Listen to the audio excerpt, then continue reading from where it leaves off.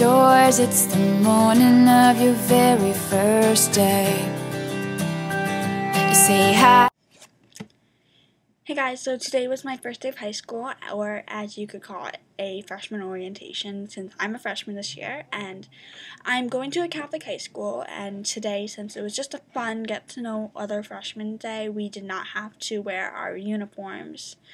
Um, I wore the makeup look I did in my back to school freshman high school makeup, and I wore my Forks Washington t-shirt, and I wore some skinny jeans.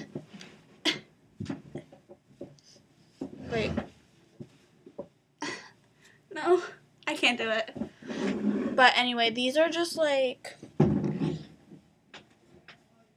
They have some fun designs, and I wore Converses with them.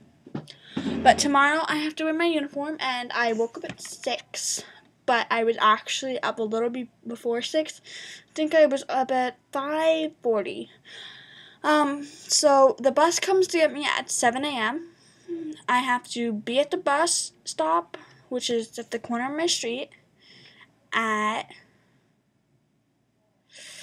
oh yeah, six fifty. I have to be there like 650, 655, some something like that. And um, so I didn't get lost. I actually learned who my teachers were and stuff. And leave a comment below if you want a some more advice. And I'll talk to you guys later.